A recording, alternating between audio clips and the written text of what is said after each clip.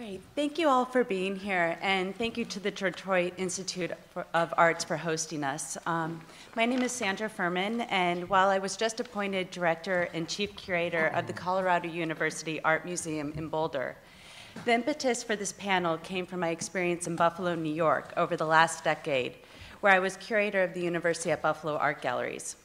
One of the last exhibitions I curated with my colleague Trey Buscarin brought art outside the museum to activate the city, including the Buffalo River, public transit, and an urban farm, among other diverse sites. Our exhibition attempted to erode some of the physical and psychological barriers that remain palpable in the city, while celebrating temporary relationships between people, materials, and neighborhoods. All of this involved collaborating with those who might not normally have much exposure to art and artists. Local business owners, farmers, barge operators, real estate developers, and a mass transit public official demonstrate a spirited willingness to take risks in forming unconventional partnerships and think imaginatively about how spaces can be perceived and used differently. My practice as a curator is deeply informed by a local sense of belonging to the place in which I live and work. Many of today's arts institutions are well aware that for our continued relevance, it is imperative that museums of various sizes interact with eclectic demographic range by decentralizing some programmatic efforts towards the cultivation of meaningful relationships with local communities on their own turf or by forming mutually beneficial partnerships with organizations and people in which financial resources and knowledge can be shared. This was evident at both the Heidelberg Project and Powerhouse Productions that some of us had the pleasure to visit on Saturday. Cities provide public spaces for civic and cultural experiments like these, not to mention public forms of dissent. Bike share programs, participatory budgeting, social justice organizations, and socially engaged public artworks and events are part of an ecosystem of human relationships and human interaction with the environment. It is productive and potentially revolutionary to look at these initiatives in concert and identify opportunities for exchange. The four panels today speak to these points of connection and how to devise and sustain cultural programs in cities that are undergoing extensive urban renewal, shrinking or burgeoning populations, and shifts in demographics.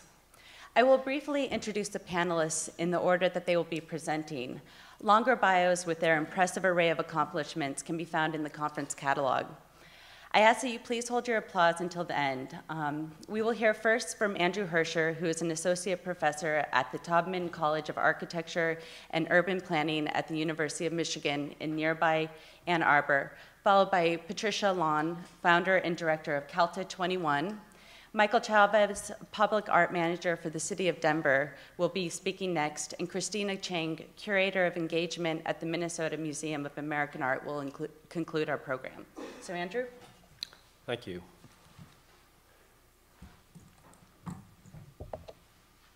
Where should I point this?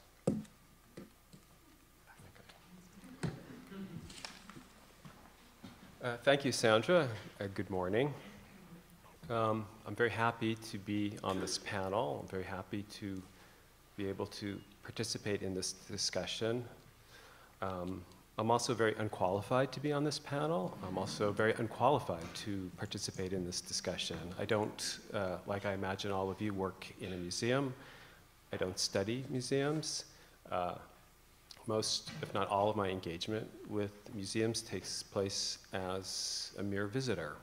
Um, I think uh, uh Sandra posed extremely uh, interesting and incisive questions to us as a panel, but um, as someone with absolutely no connection to the museum world, uh, I'm also, I think, entirely incapable uh, uh, of answering her questions.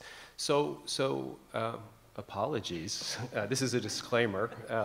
Um, what I've prepared instead is a kind of a response to Sandra's questions from the perspective of someone who thinks a lot about what's often called um, uh, uh, informal urbanism or, or, or, or public culture. Um, so, so, so, so reading uh, uh, the questions that Sandra posed to us with, with my uh, really wholly unstudied understanding of uh, the museum and my somewhat uh, studied understanding of, of, of informality uh, and public space, what, what struck me was, the way in which the questions seemed to reflect a kind of uh, concern or maybe even anxiety about the relationship between the museum and uh, uh, the museum's various publics. What, these were publics who, who uh, in the questions that were posed to us, named uh, community groups, immigrant groups, grassroots voices, local constituencies, uh, uh, uh diverse audiences, um, uh, among other things. Um, the description of our panel seemed, to me anyway, to emerge from some sense of a, a, kind of separation or breach between the museum and its publics. Uh, terms like engagement or participation or, or, collaboration seem to name, to me anyway, the, the, the, the processes by, by means of which the museum uh, might establish new relationships uh, uh, to, to these kinds of um, excluded or, or ignored publics. And what seemed to be at stake here, uh, to me anyway, was uh, relevancy. Uh, maybe there's a political dimension to this relevancy. Maybe there's also a, fiscal dimension to this relevancy. As we just uh, uh, heard from Graham, uh, at a place like the DIA, it's impossible to understand those two dimensions, the political and the fiscal, as anything but intertwined. But what if museums are only the most visible, formal, and institutionalized sites of collection and exhibition practices that, that, that might be dispersed across the publics that museums are seeking to connect with. What if publics are also doing the work of cultural engagement, cultural production, and cultural memory that museums are, are understanding themselves as, as, as doing? What if publics exist not only as the museum's collaborators or, or, or, or co creators, but also as everyday curators and exhibitors of culture in their own right. Uh, and what if then museums might not only have publics, but, but in a certain sense, publics might also have what might be considered museums. In other words, self organized spaces that, that sometimes might pass by other names and uh, sometimes might pass without notice at all. Um, I have no idea what these sort of propositions sound like in the world of the museum, the world that I imagine uh, most of you inhabit. But in any case, what I'm going to do in, in, in the, the, the, time I have, um, which follows, is I'm, going to try to advance these propositions by sharing with you three examples of what might be called public museology. and these will all be examples from uh, uh, Detroit, a, a, city that, that, that I gather you're just be becoming familiar with. Um, I, I want to frame these examples by three terms. One term is intimacy. And by intimacy, I mean close, small scale, and long term relationships between the authors of these, these, these projects in public museology and their participants. In other words, these, these are not projects that prize or desire growth, expansion, uh, uh, publicity, or, or sometimes uh, uh, uh even an audience. Uh, is there such a thing as public intimacy? That, that's one of the questions that I think these projects raise. Uh, a second term is contingency, uh, and by this I mean uh, an exposure to, to chance, to change, to improvisation, uh, instead of a, a, dedication to predetermined goals or ambitions. Can, can contingency be productive as well as threatening? That's, that's another question that these, these projects raise. And, and, and the third term is precarity, by, by which I mean a condition of insecurity and vulnerability. Is precarity a consequence of commitments to intimacy and contingency? And, and that's still another question that I think is raised here. And, and I, I, should mention uh, now that the, the, three projects I'm going to share with you now uh, each have disappeared in the last few years, which I think, if, if nothing else, testifies to the, the kind of precarity of, of, of their own existence. Um, the Car Wash Cafe was a kind of uh, perhaps outsider museum uh, that, that functioned explicitly as an open air auto storage yard, party venue, barbecue garden, and auto ephemera collection. Uh, the, the, author of the, of the project, uh, Larry Meeks, owned an auto styling salon on the east side of Detroit. And he, he purchased the, the site of the car wash cafe a few blocks from his salon to use as a storage facility for, for cars that uh, uh, he was in the process of repairing. Um, he then started a car wash to employ uh, uh, uh, uh teens from the surrounding neighborhood. And when, when customers of the car wash and neighborhood residents began to, to, to congregate there, he, he, he opened an ice cream stand to provide a place to linger. And this, this eventually became a sit down cafe, which spilled over into the adjacent auto storage yard, which sponsored its transformation into a, a, a barbecue garden and, and a party venue.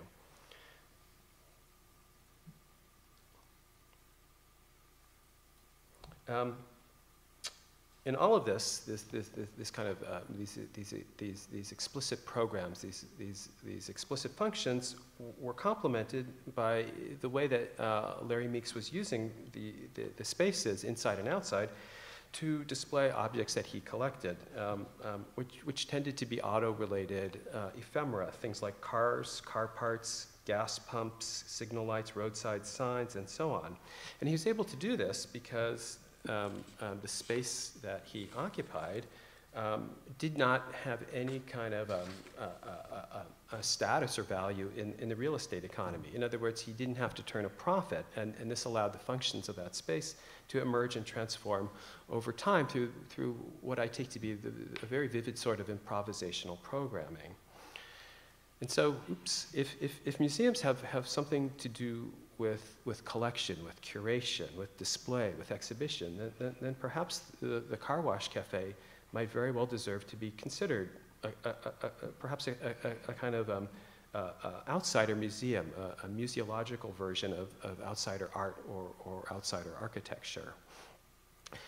A, mile or so away, uh, uh, also on the east side of Detroit, uh, the Yes Farm was founded as an artist collective. Uh, it, it, it, was, it, was, a place where art encompassed the, the uh, many, many different things. Um, the cultivation of community farms, the staging of, of performances, uh, the curation of music and dance concerts, uh, open submission art exhibitions, uh, uh, um, classes teaching things like carpentry and, and gardening, and, and, indeed much else besides. So in, in the context of all these activities, um, I think it's possible to say at a place like the Yes Farm, the, the art of survival in an economically challenged neighborhood and, and art in, in, in, in more uh, sort of formally defined ways began to inform and transform each other the, the work of the Yes Farm uh, took place in a neighborhood that was also the focus of ur an urban farming community. And its work was notable, I think, for, for focusing particularly closely on that neighborhood, and in particular on, on one single block where the Yes Farm occupied, occupied a, a, a vacant building.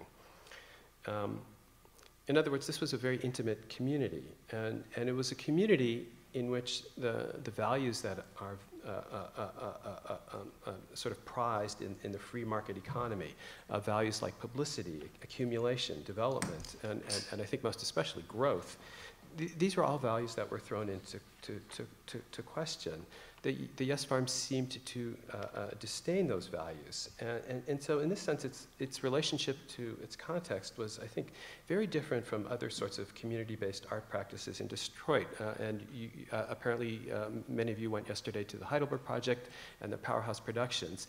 This is a different kind, this was a different sort of endeavor. Um, the Yes Farm did not regard its community, the existing community, as, as somehow somehow uh, uh, uh, problematic, inadequate, flawed, necessary to, to, to, to improve, to build, um, um, to fix. Instead, the Yes Farm positioned itself in uh, an existing community and sought to find opportunities and, and possibilities to work within that community uh, on its own terms. And, and this, this to me was, I think, was one of the project's most, most interesting uh, dimensions because there was a kind of, uh, I think, radical suspension of, of the impulse to improve the lives of other people, whether this would be through art or, or, or any other means. And I, I think what, another way to look at what was going on here was a, a, kind of bracketing of what's often called social practice. And in so doing, through this bracketing, a, an even more profound version of social practice emerged because it was a practice that not only involved a public, but it was itself a public practice. The way it was the way a public creatively coped with and altered um, challenging uh, uh, uh, urban conditions. The, the last project uh, I want to briefly share with you um, it was the Detroit Demolition Disneyland, which might be regarded as a kind of guerrilla curatorial project in which abandoned houses were publicly exhibited by, by, by, by, by um, covertly painting them bright orange. Uh, this project was initiated uh, a, a, few years ago uh, uh when Detroit uh, was uh, ramping up to, to host the Super Bowl, and, and as part of that process was demolishing abandoned houses in order to beautify, and I would put scare quotes around that term, to, to beautify the city. So as that was going on, as the city was demolishing abandoned houses, a, a series of, of, of, of, abandoned houses began to appear uh, in, in, painted in bright orange. Um, and then a, a, a, single communique was posted on an online news site about the project, which was uh, named Detroit Demolition Disneyland. Um, and the authors of this project uh, wrote that they were, what they were doing was simply endeavoring to invite the, the, the, citizens of Detroit to, to, to, to look at these, these brightly painted houses, but even more, more, more generally, to, to look at all the decayed and deteriorating buildings in the city. And, and what this brought, according to this unnamed group, was what, what they called awareness. But they didn't say awareness of what? Was, was it an awareness of abandoned houses? Or was it the city's attempt to deny awareness of that abandonment? Or was it the agency of art to, to, to, to, to critique the, the denial uh, uh, uh, uh of the city in, in, in kind of ma the, the, massive abandonment of, of, architecture? Or was it indeed the limit of art, uh, which was able to critique uh, an urban disaster but not propose any alternatives to it? Um, the project raised those questions without suggesting any answers to them. And, and I think that, that too is one of its uh, uh, uh, striking characteristics. In other words, it, it posed the city not as a, a problem to solve, but as a, as a kind of field of investigation and, and proposition. Um, so, who was addressed by all this? Uh, uh, uh, and to whom or what could all this kind of work make a difference? Um, um, the answer to those kinds of questions is, of course, I think, uh, a public.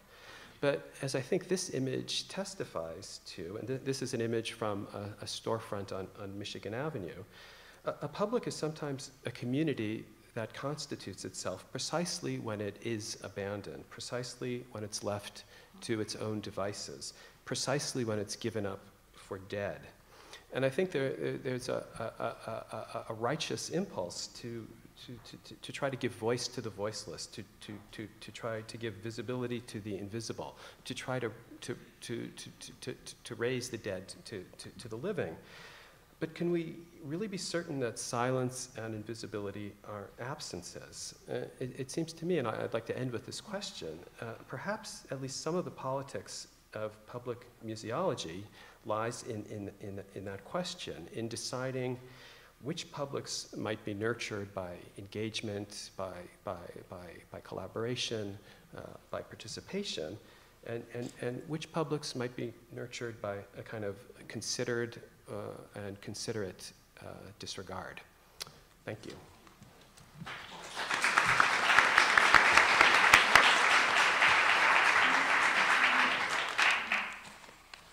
Good morning. Is this on? Yeah. I'm Patricia Lannes. I'm the founder and director of Calta 21, uh, an IMLS funded initiative. And, ay, what's going on? Okay.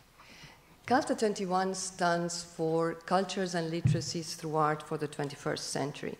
It's an IMLS National Leadership Grant funded program. Um, this pro these grants are given and awarded to initiatives or models that uh, address uh, crucial pro problems in the museum world that can be somehow addressed by a model created that can be replicated or adapted nationally. And uh, the aim of the program is, and it's, uh, it's interesting because it ties very well to what Andrew was talking about, is our tagline has is strengthening the immigrant voice. We have a target audience. Uh, our target audience are adult immigrants and their families. And the goal of the program is to build institutional capacity in museums and also in adult uh, literacy programs that serve immigrant, audience, immigrant students or immigrant audiences or don't serve them yet. And it's also to build um, academic capital among the students. So it uh, has different audiences. It has the museum uh, component, which is the building the institutional capacity, but it's also building uh, academic skills uh, with English language learners. And the, you know, it has been progressing. It's a three-year grant, and we are in the third year already. And it's, uh, we got, we evolved a lot, and we shifted. And now it's not just about building language, but it's also about academic, uh, sorry, cultural and social capital, and civic engagement. So what is a model framework? Model framework is uh, more than anything, it starts, and I argue strongly for this, that art, there has to be a paradigm shift, and art has to be like a human right or a basic right. But art, you know, it's about uh, active participation, not just, you know, I'm offering this, I have it here, come and visit me. It's like, how do you create something where everybody could, can have an aha moment in any environment and say, I want this, I want to do it, I want to ex- experience it. And how do you create meaningful experiences uh, through art? Uh, the, another mm, framework and guiding principle for us has been that adult immigrants, we can't part from the model a deficit model. Oh, they don't have the language. We need to teach them the language. It's actually an asset model. What are they bringing to the community, and how can we, using that background knowledge and that those prior experiences, how can we grow into a program that de- helps develop language? Um, the program also insists, and uh, through our, you know, through our professional development, on creating an environment of shared authority where curators, museum educators, English language instructors, and adult immigrant students all have a voice and use their background knowledge when participating in uh, the museum experience and in the classroom experience. And this, we believe, it allows for a lot of intercultural dialogue that is uh, uh an important thing for our, our program.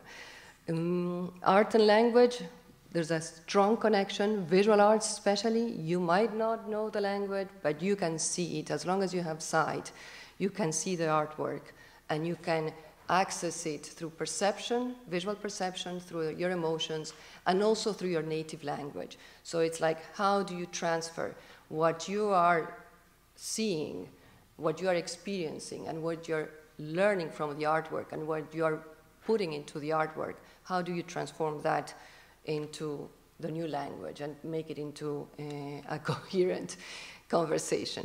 And what's the role of the museum educator or the museum professional and of the English language instructor? And we believe in uh, you know, cultural competence being an asset for everyone in the museum world, but also among the students and the teachers. Uh, situated and contextualized learning, we have developed a professional development institute that addresses uh, you know the, the concept of partnership it's like how do you reach to a community that you know it doesn't become okay i have this i'm offering to you come to me or i'll go and I'll outreach to you. How do we understand what's the need what are the strengths of the community? So we have developed a professional development institute where we partner all the stakeholders of the program and the curriculum, we have developed a curriculum, identity, portraiture, and photography, that's uh, implemented at the museum and in the classroom. So through those strong partnerships that start in the Professional Development Institute, we take them into the classroom and into the, into the museum. And so at the end of the day, you know, for us, it was okay, there's a changing role for the museum. Museums need, you know, to start thinking about how do we engage the community and how do we empower the community. So it's more than access, it's inclusion. And what does inclusion mean? You know, how do you become inclusive beyond saying I have a program or I'll, I'll have uh, Dia de los Muertos or a, you know, a, an event that I, I gives access to a specific community. And, and we do believe it's part of starting a democratic, a democratic practice that can start at the museum itself. Mm, demographic trends in the museum world. Uh, two million immigrants arrive to the US per year. And in 2008, 9% of the core museum visitors are minority, currently minorities. And, uh, you know, we are uh, considering the immigrant community part of the minority.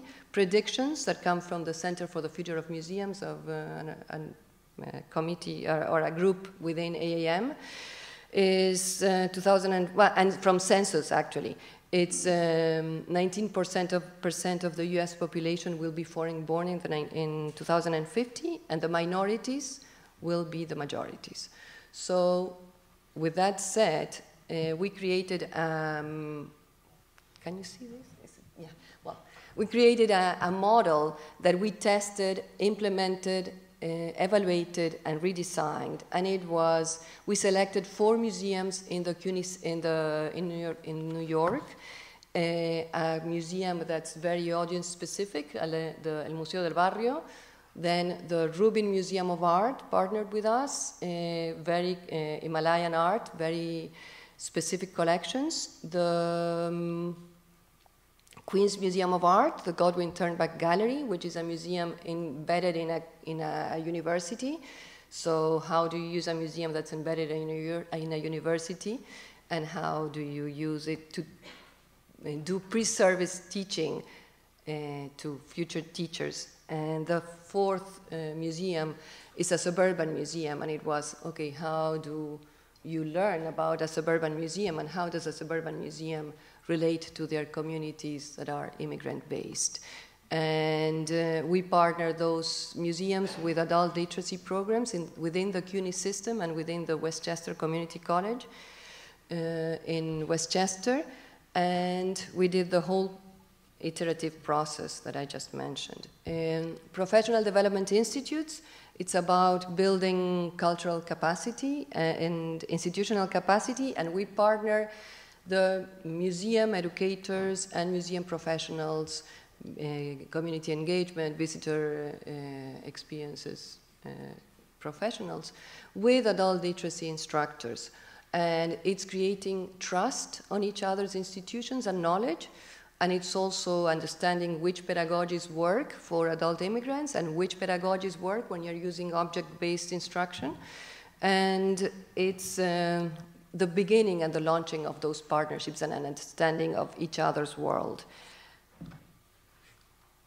Ay, God, what did I do? Okay, the curriculum, it's uh, implement, it's a 30 uh, unit, 30 hour curriculum, 10 units. In unit five, it starts in the classroom after the, uh, everybody participates in the Professional Development Institute, starts in the classroom and it goes to it's moving towards a self-curated museum experience by the students adult immigrants with intermediate uh, english language uh, levels. And it's all about in unit 5 they go to the museum and the museum is in charge during the first hour second hour everybody works in small groups decide which works are relevant to them and which works they want to facilitate. And those students facilitate discussions in small groups. Towards the end, uh, Unit 10, the students curate a museum experience to, for, for their families or friends. And they become its ownership and it is self guided you know, it's not the museum telling me what I want to see or perhaps what I should see or what's valuable, but what's interesting for me.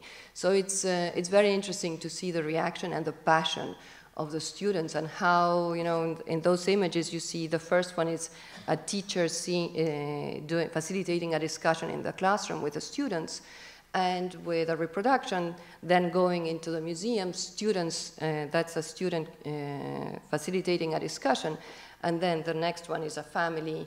Uh, and when I told uh, Julia, you know, Julia, you brought three kids, and you were supposed to bring one, or, or you know what, why did you bring all your family? You also brought your husband. And she said, I wanted everybody to have the same opportunity I had. So, and, I, and so this is about, you know, family literacy also, and it's, nurturing museum audiences. It's a long-term inv uh, long-term investment, but it, that's uh, you know it's it's what it is. So testimonials. I'm not going to read it to you. It's a long testimonial, but it was a museum educator that was impressed by what the students could see in those tiles and what the students were talking about. And it was all about, at the beginning, it, it started with, why is that art? What is that? And they had, you know, the curriculum is identity, portraiture, and photography. And it's identity of yourself as an immigrant and what's the story that you have to tell. Where do you come from? Who are you today? And where do you want or expect to be in, when you're 80 years old? And the, the, the portraiture somehow you know it's about building vocab vocabulary about portraiture what does it what does a portrait show you know what do we want to show in a portrait what can be a portrait. And it was interesting, we have you know, lots of uh, students that at, at, the beginning were saying, oh, why is this art? Why is this? The, the museum, they look like bathroom tiles. Towards the end, you know, they were facilitating the discussion, and it all became about colors in the face, in the portrait, you know, the colors of the skin, colors on the eye, and, it, and the different shades that we have in our, in our face. Part of this program is to have a national dissemination, and we're having on June 3rd an, an, online symposium where practitioners, I won't be speaking, the practitioners who participated in, we have 15 uh, persons presenting, students, uh, museum professionals, evaluators, uh, participating. I left some cards there. If you register, we'll send you all the information. Or if you know anybody who might be interested in taking we have created a model that's applicable and adaptable to any you know, institution, hopefully.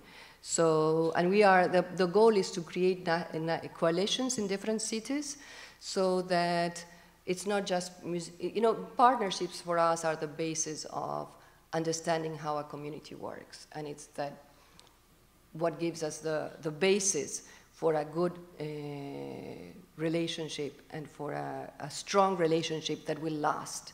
So we are in the process of trying to build coalitions nationally in different cities. So thank you so much. And that's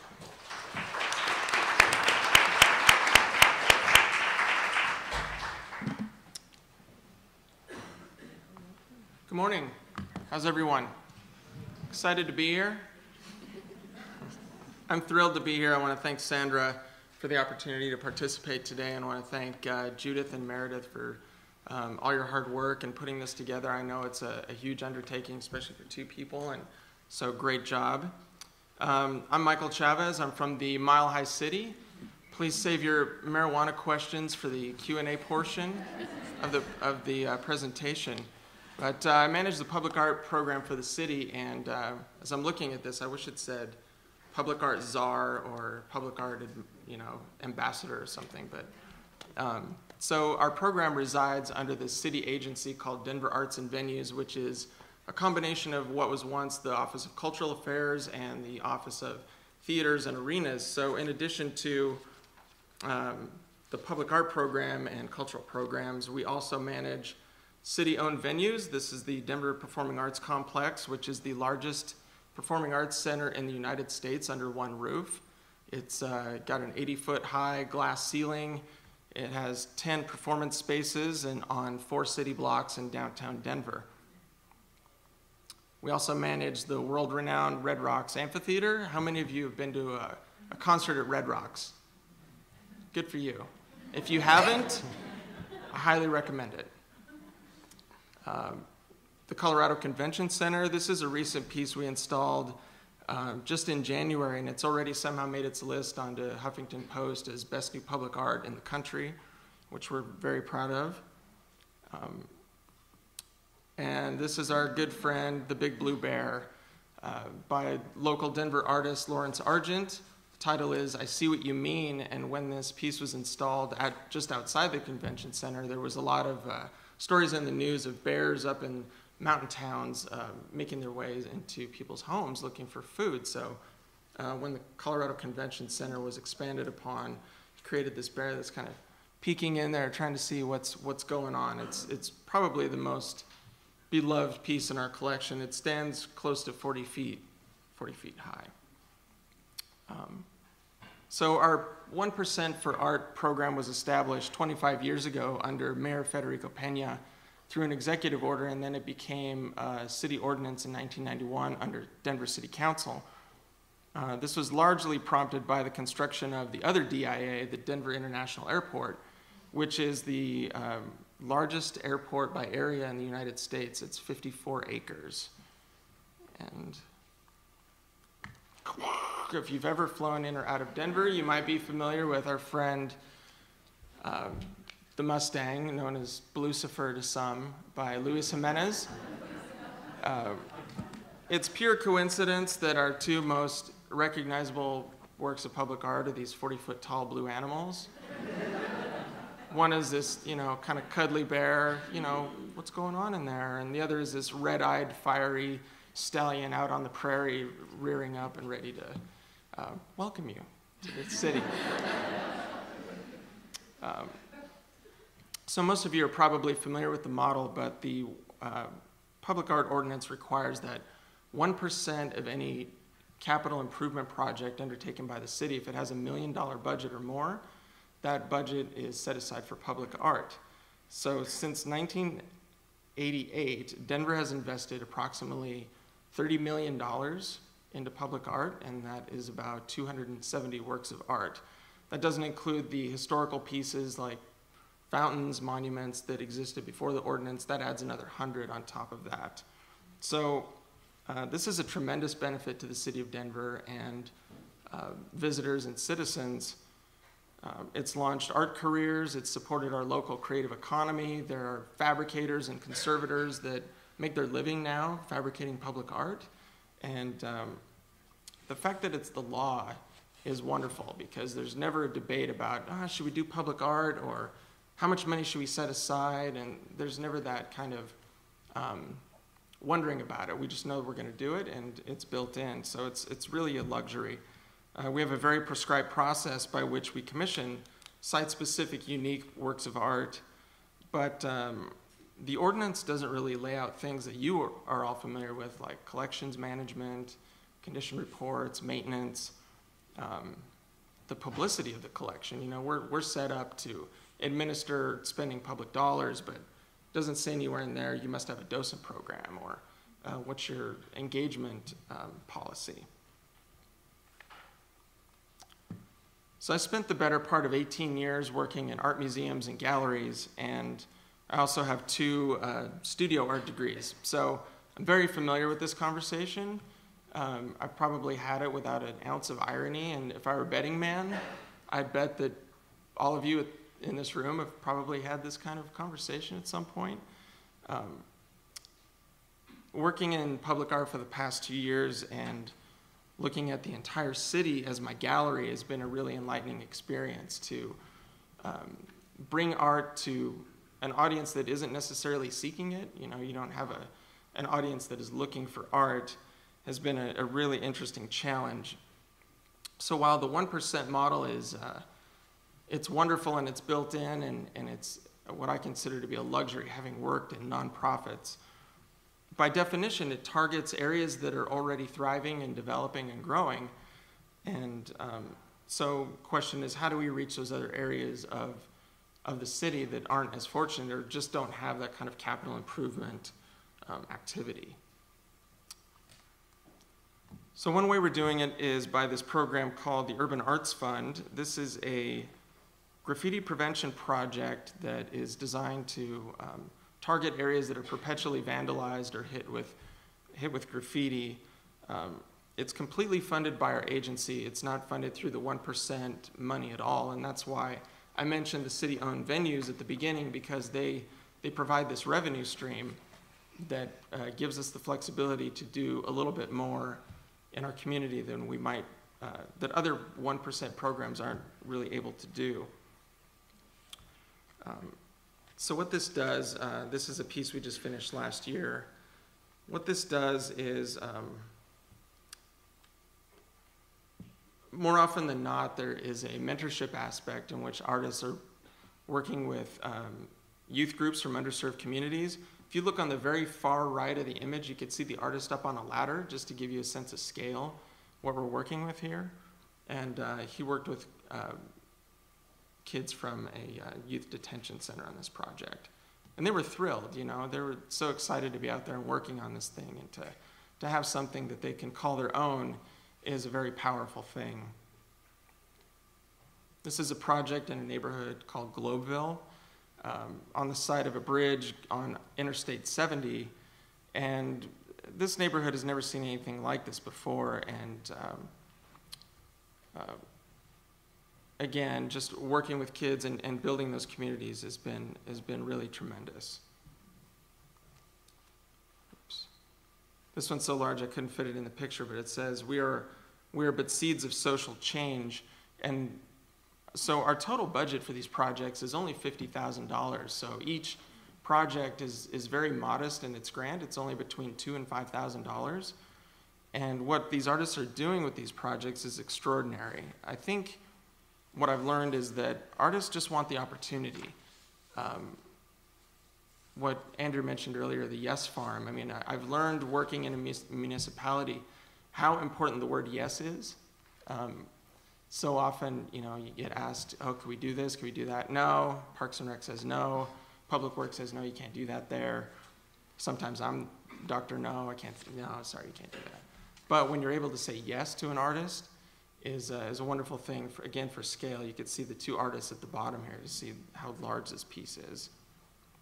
These projects have been so successful over the past few years that uh, one of our city council people has dedicated uh, $10,000 from her own budget to do more projects in her district, which is wonderful. And we recently just received an artworks grant from the National Endowment for the Arts to do more projects and uh, kind of a larger scope going into 2015. So I'm proud of that. PS, you here. This is a, a pilot project we're trying out this year. PS stands for public space. And where the Urban Arts Fund focuses on graffiti prevention specifically, this is aimed at creative placemaking and neighborhood revitalization through community driven projects. They're meant to be creative and physical improvements in communities and public spaces like parks, alleys, streets, sidewalks, courtyards, medians, and any underutilized gathering spaces that foster more uh, community interaction and also bolster the uh, economic vitality of those communities. It's a similar model we'll, where we will have $50,000 to work with. We hope to do six to eight good projects this year just to get it off the ground. And um, another reason our agency has some flexibility from those uh, city owned venues. So back to venues, um, this is the McNichols building, which is the newest venue in our portfolio. It was the uh, originally Denver's Central Public Library, opened in 1910 and served in that capacity until 1956, until the uh, library moved to another site. In the years in between, it served some very uninteresting city functions, like you'd go to pay your taxes there, or uh, many years it said completely vacant. So um, our mayor asked us if as Denver Arts and Venues if we would take it over as a new project. And in October of 2012, we reopened the space as a new art and culture and events uh, kind of multi use venue.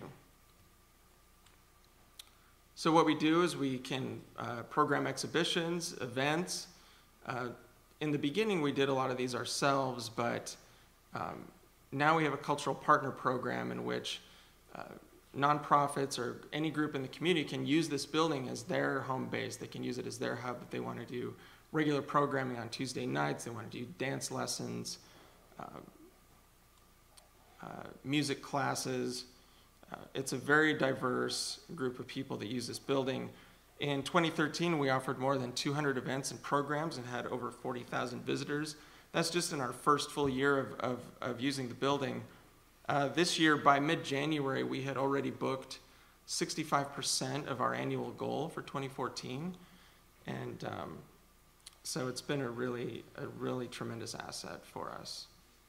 Uh, this is a program we did with uh, the symphony and children. So we get hundreds and hundreds of people using this facility on any given weekend. Weddings, bar mitzvahs, you know, any, anything you want to use it for. And last but certainly not least, we just uh, launched the city's cultural plan. This was an 18 month process of research in the community, and uh, Denver hasn't done this since the late 1980s, again, when the public art program was first established under Mayor, Mayor Pena. It outlines what, we, what we're striving and hoping to see in art, culture, and creativity within the city of Denver by the year 2020. It's broken down into seven vision elements, um, not least of which is the integration of art and culture into everyday life, accessibility to the arts, arts education, um, amplification of the, the local talent and growing that talent so that they don't feel like they have to leave Denver to, um, to maintain their art careers. And um, there's quite a bit to it. The, you can read the whole plan if you go to imaginedenver2020.org. Uh, their whole comprehensive plan is there for you to read. Um, the research that went into this brought about some really interesting demographic information.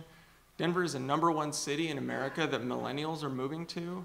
Uh, they're coming to Denver in droves, um, which is fascinating and ch- changing the kind of the cultural landscape of the city for sure. Um, short and sweet. If you want to know more about us, it's artsandvenues.com. And um, that's all I have. Thank you.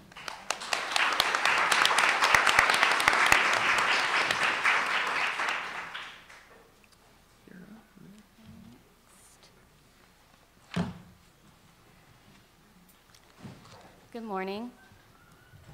Uh, can you hear me okay? I'd like to thank Sandra and AMC for organizing this panel on the very timely question of the level of responsibility that museums and their cities have or should have to one another in Detroit. Sandra invited me to be on the panel, and I was honestly somewhat intimidated by the proposition of speaking alongside my fellow panelists. She reassured me, however, that she did not expect a position paper on the question, but rather asked me to speak about the work that I do as curator of engagement as it related to the city of St. Paul, how I engage St. Paul as an art museum curator. The Minnesota Museum of American Art bills itself as St. Paul's only art museum, which is surprising given the number of art museums in Minneapolis the Walker Art Center, the Minneapolis Institute of Arts, the Weisman Art Museum, to name a few, and the fact that St. Paul is the state capital, not Minneapolis. How is MMAA positioning itself within this highly competitive field and leveraging its place? What is the role of the curator of engagement in this strategy? I borrow Sandra's phrasing, curating partnerships, to describe the curatorial strategies and collaborations that I've explored, some more successfully than others, as MMAA's curator of engagement, a few of which I will share today. I'll close by reflecting on whether there is a distinction between a curator and a curator of engagement. Some of you may be familiar with St. Paul, the so called twin city of Minneapolis. Like many siblings, the Twin Cities have a complicated and at times contentious relationship. In the Twins baseball team logo, Minneapolis and St. Paul personify Minnesota nice, the term used to describe the polite friendliness, genuine or otherwise, of the stereotypical Minnesotan. In fact, the cities aren't as close as one might expect.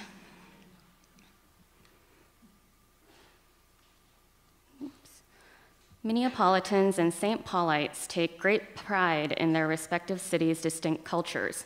You are either or, not both, and often frame them in opposition to one another.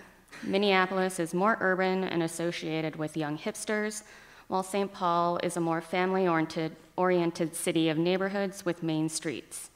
The cities are engaged in a not always friendly rivalry. Cool is a term that more readily applies to Minneapolis, and St. Paul's Mayor Chris Coleman was sensitive to that fact. Making St. Paul cool is a top priority, which he defines as a place where people want to be. Being cool is important because it will draw creative people, or the creative class in Richard Florida's terms, to the city, in turn, attracting investment the creative city economic development model advanced by urban planner Charles Landry in his landmark book, The Creative City, a toolkit for urban innovators. Private foundations are leveraging public funds to support the work of city leaders, community organizations, and residents in making St. Paul, quote, the creative epicenter of the region, end quote. The Knight Foundation has played an important role in creating opportunities for institutions and individuals to realize innovative ideas in the arts through grants that are themselves innovative, such as the Arts Challenge. Detroit was a beneficiary in 2013, and the competition for ideas is currently open for St. Paul. That is all to say that there are considerable financial incentives for MMAA to be in St. Paul and downtown in particular. The culture at large uh, was simultaneously primed by the local movement to be supportive of a locally focused art museum.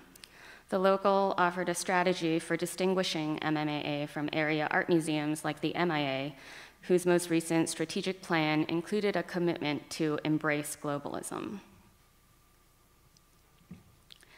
It is important to note that MMAA isn't just jumping on the local bandwagon supporting local artists and makers not only through exhibition and acquisition, but also as educators is a part of MMA's history and thus refocuses the museum's mission. MMAA has been St. Paul's Art Museum since the mid 1950s, though its roots go back to the late 19th century as an art school and gallery. The strength or advantage of this focus on the local and more broadly Minnesota was best put by local arts writer in his review of this exhibition, DIY Printing. He describes the palpable presence of the artists in the gallery and their work as alive with their do it yourself creativity. That is to say, the artists are present, available, and accessible. When I first started at the job, I was often asked, What is a curator of engagement? And what does a curator of engagement do? There was no precedent for the position in the institution, so there was no lead to follow. And perhaps one other colleague in the cities was doing the kind of work expected of this position Sarah Schultz, curator of public practice and director of education at the Walker. The position was created through an NEA Our Town grant, which supports creative placemaking, a major buzzword and funding priority. Uh, the creation of a distinct sense of place. Our friend and neighbor, neighbor Springboard for the Arts Irrigate program is a textbook creative placemaking project, similar to projects that Michael shared with us today. The artist led initiative spanned the six miles of the light rail line in St. Paul during years of its construction and sought to transform overlooked and undervalued public and shared spaces into welcoming places where community gathers, supports one another, and thrives. That's from their description of the work they're doing. This was the place and space that I was given and instructed to creatively placemake in a dark corner in between downtown and the artist community lower town of St. Paul um, that currently sits on the light rail line, which is set to open very soon but isn't yet, so it's kind of a dead zone. The first event in the space was framed as a weekend to preview the forthcoming MMAA project space, which would be the museum's only exhibition and program space, a significant milestone for the institution, which had to completely shut down operations in 2009 due to the economic downturn.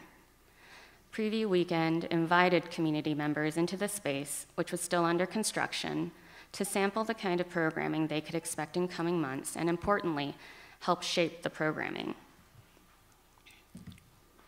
Working with three enthusiastic interns who had a passion for engaging visitors, I developed with them what came to be known as community engagement walls. For one, we simply taped up brown craft paper to create a writable surface and posed the question if this were my museum, I would. For the other, survey questions aimed at drawing out suggestions were disguised as a fun art making project. Some of the questions include why aren't more people talking about blank? Why does Minneapolis get to have blank and St. Paul doesn't? I'd like to meet blank and ask her him blank. There was a great one that read, I'd like to meet Frida Kahlo and ask her why Diego. Mayor Coleman and Joe Spencer, St. Paul's Director of Arts and Culture, made an appearance. Uh, the director of the museum, Kristin Makholm, is speaking to them, recognizing the piece of the mayor's vision for St. Paul that MMAA and its new space represented. Shelby Matula on the left is the one who designed the fun and engaging question slips. Nicole Wankel, another intern, is in the middle. A concern that visitors voiced repeatedly was the lack of recognition and opportunities for local artists. One person suggested, why don't you show a juried open invitation biennial here? MAA, MMAA's 2014 Minnesota Biennial will open in June. The exhibition was curated by a panel of jurors from an open call for submissions to which over 350 artists applied. Again, this was not a knee jerk reaction to one person's comments. In 1952, MMAA established a biennial competition for North American craft folk known as fiber clay metal. By 1964, it had become the most selective national craft exhibition. In the 60s and 70s, the biennial's focus shifted to drawing.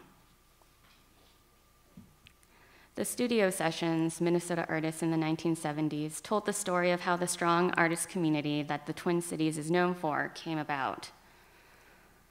Photographs of artists at work taken by their contemporary Victor Bloomfield were shown alongside a work of art by each artist. On the left is Victor's photograph of Carol Fisher from 1974, and on the right, the artist standing next to her photograph 40 years later. And Victor is the one taking the photograph. The exhibition also acknowledged the key figures who supported the work of local artists, including Suzanne Cohn of the no longer extant Cohn Gallery at, in St. Paul. A panel discussion considered the impact of the decline of the tin, Twin Cities gallery scene. Um, you may remember that one of the slips read, I have a hard time finding galleries in the Twin Cities. Another exhibition related program asked members of the community to present their stories of what the 70s meant to them as embodied in an object, a modification of the story night format developed by our collaborator on the program, Story City.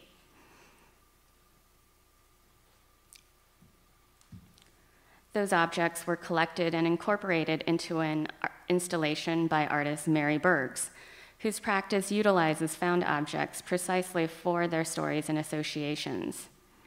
You'll see the context sheet that Victor presented in the previous slide, and the LPs were suggested by local writer Dylan Hicks' story.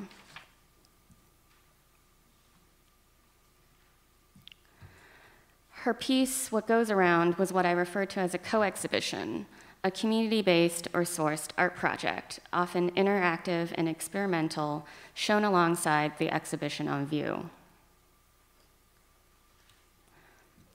I was very excited when Sarah Hansen, a social practice sculptor, approached me about exhibiting the results of her participatory project in the gallery. The Bioscenic Earth Laboratory consisted of an elaborate sculpture, much of which she cast, that collected time capsules filled with artifacts from participants, which included inmates at a correctional facility and patients of Children's Hospital in Minneapolis. The artifacts were often created utilizing the art making materials and instructions to write a letter to your future self of 25 years later that the artist provided. You see some of the creations in the image on the right. A guest curated contemporary fiber exhibition was on view in the gallery, and you see here two girls that participated in the experiment engaging with some of the works. The relationship between the co exhibition and exhibition on view is not necessarily super direct. The timing of Sarah's project was somewhat inflexible since the exhibition at Project Space would be the final stop on the laboratory's tour of the metro area. I did see some formal similarities in the work that the girls were looking at and the microcosms that one could view through another one of her sculptures. The project space aims to be a community gallery, not only in name, but in practice, which is to say approachable and available to community members and organizations, though I do regrettably play somewhat of a gatekeeping role. Here you see the first co exhibition project, another culminating exhibition of a community art project involving the St. Paul Public Libraries and Rainbow Rumpus, a nonprofit that publishes children's books for LGBTQ families. In addition to local artists, who is MMA engaging? Through a Knight Foundation grant, we were able to bring in Nina Simon, a pioneer of participatory museum, museum design, who led one of three talkback conversations that invited community members to have a say in the planning phase of the museum. The particular question she considered was how to create art experiences that were participatory, that people would feel invited to participate in. To explore that question, she divided the audience into groups and had them fill out a worksheet. I especially like how she defined community not simply as a community of color, but through interests and affinities that might include a person's ethnic or racial background. In an earlier closed session that Nina led for representatives from area museums, Joanne Jones Rizzi, Director of Community Engagement at the Science Museum of Minnesota, pointed out the fact that community is often thought of as a code word for persons of color, which I just want to put out there for everyone to think about. The groups were then brought together to share their programming ideas, some of which I do hope to pursue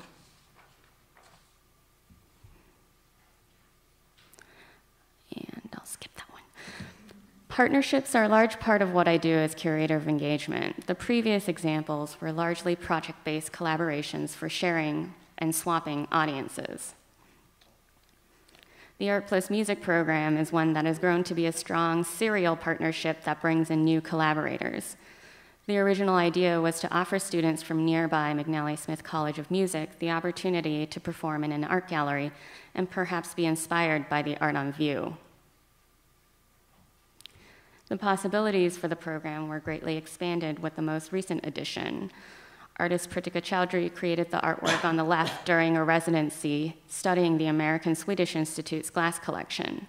The piece draws on the Indian, Indian tradition of Jal Tarang, in which ceramic bowls filled with water are played as an instrument.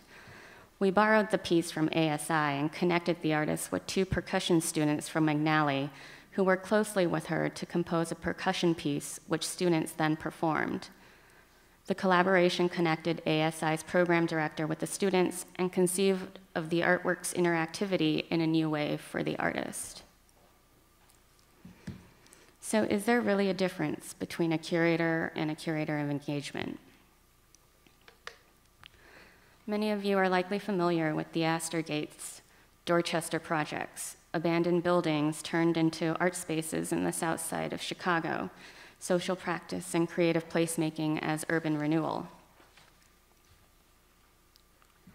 At CAA this past February, during a panel discussion on the topic of exhibiting social practice, someone asked the panelists about the sustainability of such projects when they're largely the product of a single charismatic leader. Or as Tony Whitfield put in a recent New Yorker article, quote, we're so personality driven and so dependent on creating heroes that we forget that a hero can be hit by a truck and disappear, or just leave. What's sustainable about that? End quote. Gates insisted, I'm not moving. I have not moved. Staying becomes a political act, the most radical thing I could do as my class changes, as more opportunities grow, is to simply stay where I am. But if he had a wife and children, he might reconsider his decision to stay in a neighborhood plagued by crime and devoid of good schools. Does it matter that I live in St. Paul? How long do I have to commit to the city? These rhetorical questions start to get at the fact that the kind of work that is being asked of me is highly place based in nature, which feels a little different, at least to me, from a curator whose work is not intimately tied to the city that their institution is based in. Um, Sandra alluded to this as a local sense of belonging. I'm still learning and figuring things out. Thank you.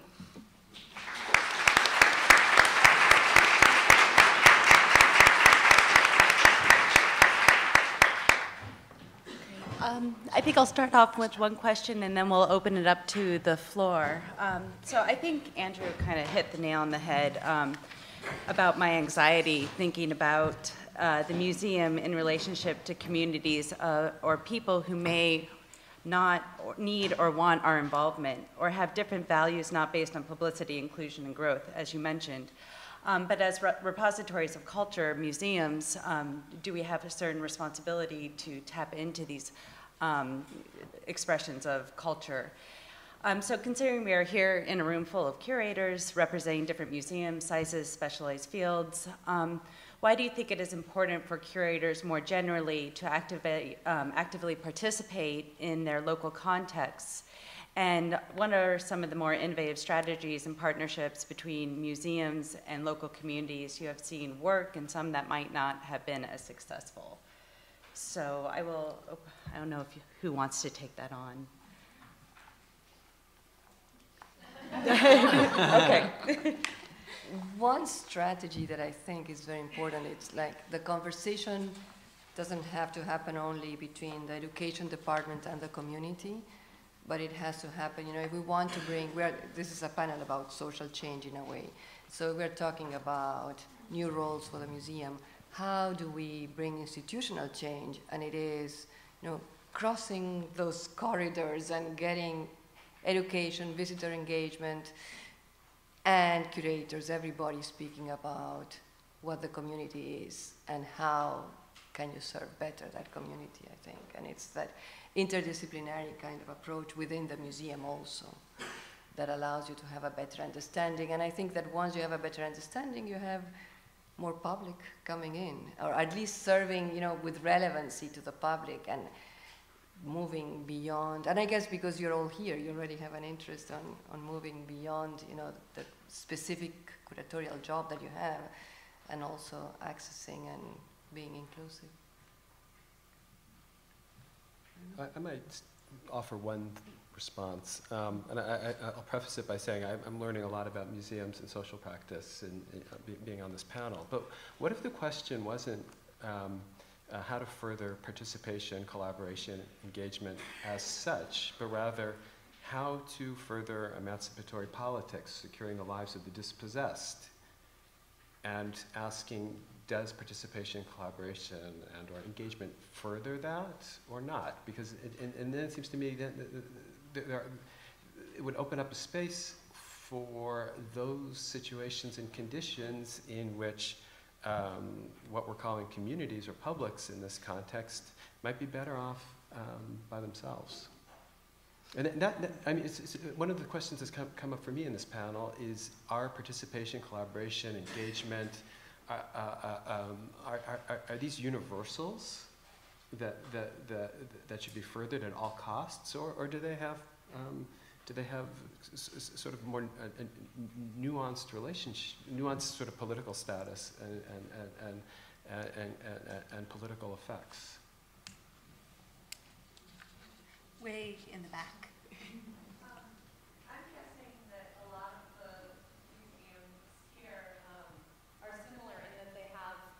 budgets and um, fixed budgets and fixed human resources to be allocating towards things like engaging local artists, engaging spaces outside the museum, engaging um, immigrant and minority audiences.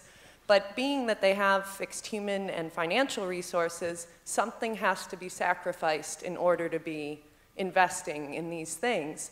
And I would be interested in hearing what you think can and should be sacrificed in order to do that.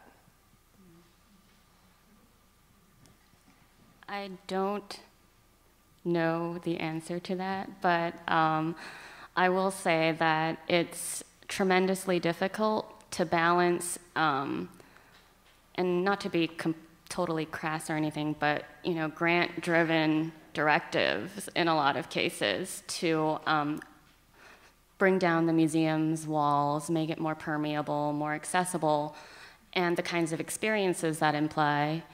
Um, versus the donors and the kinds of experiences that they're looking for. Um, and just in my practice, I found that it's really hard to kind of offer both of those at the same time, but I think it's also important to figure out where that middle ground is, where kind of the audiences that historically have not been um, part of museum attendance can be brought into the activities of the museum while still at the same time not alienating the primary funders of the museum. And I would recommend um, getting away from your desk, getting out and speaking to people in the community, speaking with people who work for the city. Um, I've learned so much working with just city council and neighborhood associations, just knowing what, what people, finding out what people really want, um, not just the donors, not just your members of your institutions, but um, listening to those people in your community who want to be involved, they just don't know how to be involved. And that's what we learned through our process for the Imagine 2020 cultural plan is that um, there is a great need and want to be involved. People just aren't sure how to go about it. They, whether it's a financial barrier or um, uh, maybe an educational barrier, but just uh, trying to create avenues that, that break down those walls. But um, I found that just getting away from your desk and your little world where you're working on your own little project has been tremendously helpful. Uh, Uh, oh, Can I, can I answer one more? Uh, there's also one thing that I think we have to move away from, thinking that this is a financial restriction, that you will be taking money from some pot to put it in, in audience and community engagement, because it's just a matter of how you figure out that community engagement. Uh, that might not cost you any money. You know, it might be just through the partnerships and through new audiences. And, and look at, remember that slide that I showed you about the predictions of what's going to happen with museum audiences. Today, 9%, uh, one in nine comes from a minority. What's going to happen with museum audiences? You might have wonderful exhibitions.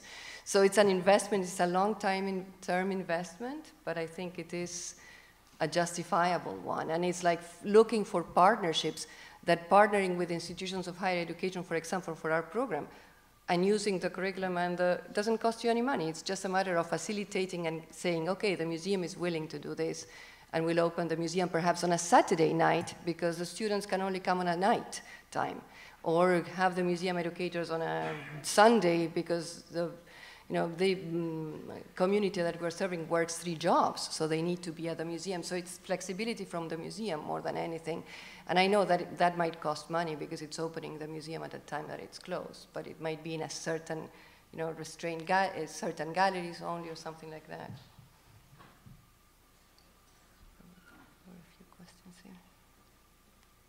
uh, so I, my question uh, relates to the future. I'm a big believer in a format of engagement. Um, and right now I feel that it's a great deal of culture for culture's sake and economic development.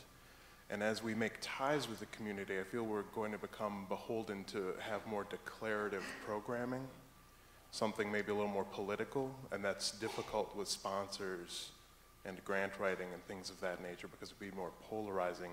Do any of you have experience with that type of thing or any thoughts uh, related to the future and that particular issue? Um, in Denver, we've been trying to um, encourage people to do their own projects, not necessarily relying on just the funds that we're allocating through the city. Um, trying to relax certain rules through the city. Uh, we found that there are quite a few trends in crowdsourcing, raising one's own funds to do a project. Um, and it's our job to be a resource to try to cut through some of the red tape to make sure that uh, people can get their projects done. So, in that respect, uh, hope that answers.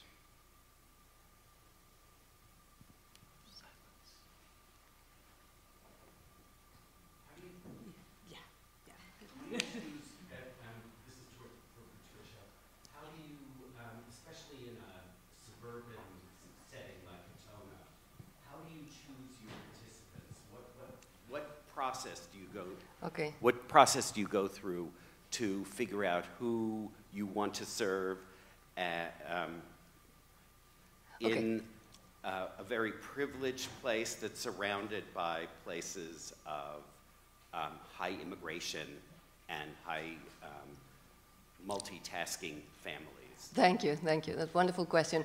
It's interesting, you know, when we chose the suburban museums, I was the director of education in a suburban museum, and the main question was, how are they going to arrive? How is anybody without, without a car going to come to us?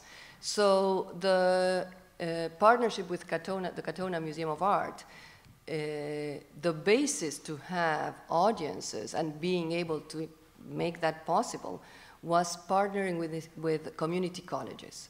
And by partnering with a community college, they have a captive audience. They have, you know, most of the students, and then we started partnering also with literacy programs and community-based organizations who are serving already, uh, you know, English language learners. And, but they are also looking for inno- innovative ways of being more, in, uh, you know, having that community become more like a, a, community and not just two groups, you know, the very wealthy and the community that serves the very wealthy. So it was done through partnerships and through the Westchester Community Go- College and the Gateway Center that they have, which is a, a center for immigra- immigrants. So they have the, the students, the people who go and register, you know, in their programs. Did I answer your question?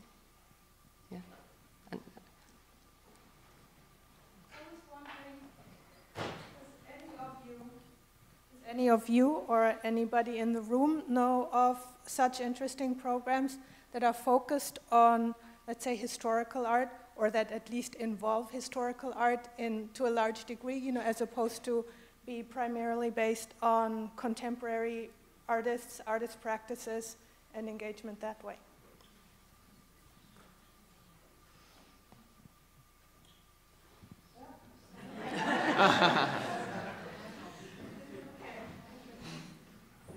I mean, with, again, with the Denver Public Art Collection, we have 100 works that were commissioned, uh, you know, in the early 1900s. So um, we're always striving to uh, bring engagement and awareness to those pieces, not just focusing on the latest project that we just dedicated. So.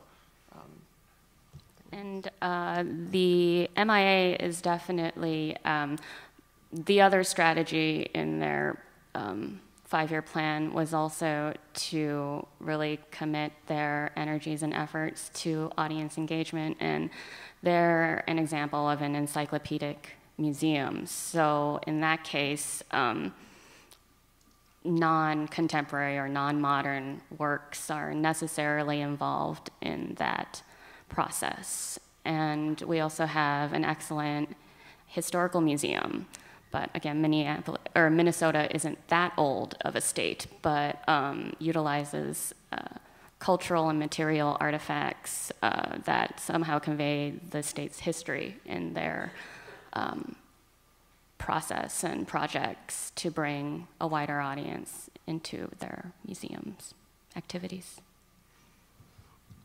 We tried, you know, the in our iterative cycles. You know, in the cycles that we had, we had the, the, um, the Rubin Museum of Art, which has Himalayan art, and it's not, it might have a contemporary exhibition upstairs, but it's not contemporary art. And it was very interesting because it was a challenge that we thought, okay, it might not work. And it did work, but it was a matter of how do you, you know, through the process, how do you empower the visitor and the viewer to make that artwork accessible? But it's through their own curatorial process. You know, it's like the curatorial support is during the professional development, and then the artwork. Artwork is art is art. You know, it doesn't need to be just contemporary art. Do we want to have one more question? And we probably should. Um, or maybe two. Thank you. Um, my name is Shramoy Mitra, and I want to thank the panel. I really enjoyed uh, listening to each of you. Um, I have a question that I'm actually thinking through, so I apologize uh, uh, before I start if I stumble my way through the question. Um, so I guess I'm trying, I'm, I'm curious to, I'd, to hear from the panel uh, about your thoughts on citizenship. Um, because most of the work that um, it seems to me uh, that you've spoken about is um, a way of creating a sense of belonging, you know, uh, whether we hear a lot about marginalized communities, immigrant communities, um, and, uh, you know, perhaps communities that are less fortunate, um, and developing this sense of belonging.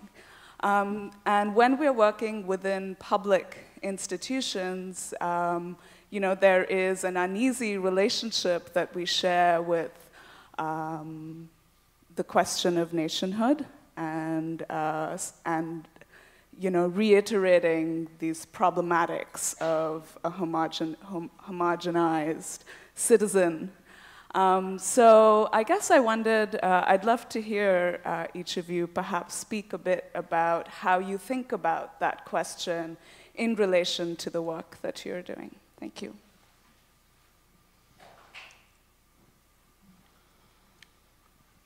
The, uh, the PS You Were Here project that I mentioned earlier, the placemaking uh, grant project, is specifically focused on neighborhood organizations and uh, the Urban Arts Fund mural project, we commission artists directly, but PS You Are Here, we're connecting with organizations primarily so that there's more of a grassroots, community driven, um, collective consensus on what that neighborhood wants.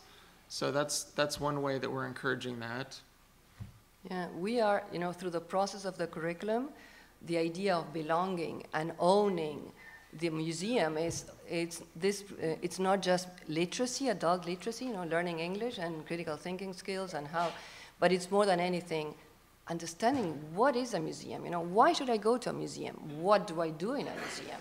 It's like does it is it a place for me? So how do you get that happening? It doesn't happen with one time that you go to the museum. It happens through a, it's a process, you know, and, and you all know because it doesn't, you know, it's like until you understand, you know, what's the purpose of everything and how you keep on going to the same museum. So that's why the curriculum for us, it's always going to the same museum, and sometimes there's resistance from the teacher saying, we're going to go again to the same museum?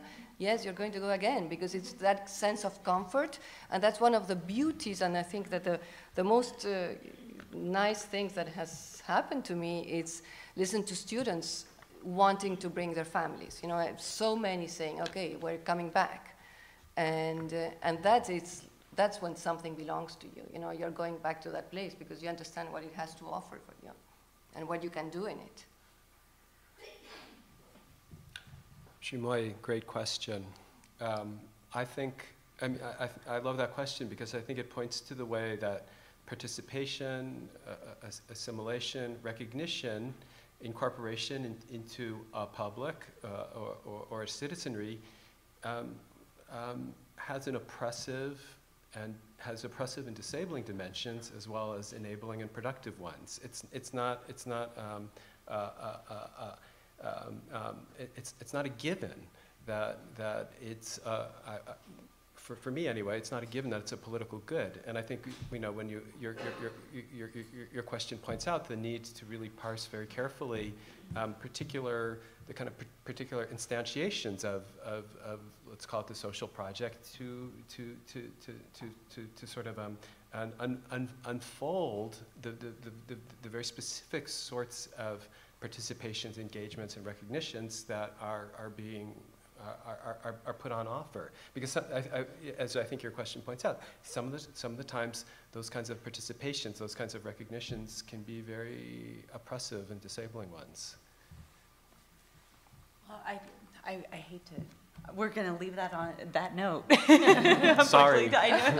which is fine. I think it's, it's, it's, a lot of food for thought and also kind of um, provocative questions um, that you ask. So I know we need to move on to the Pecha Kuchas. So thank you so much. Thank you. Thank you.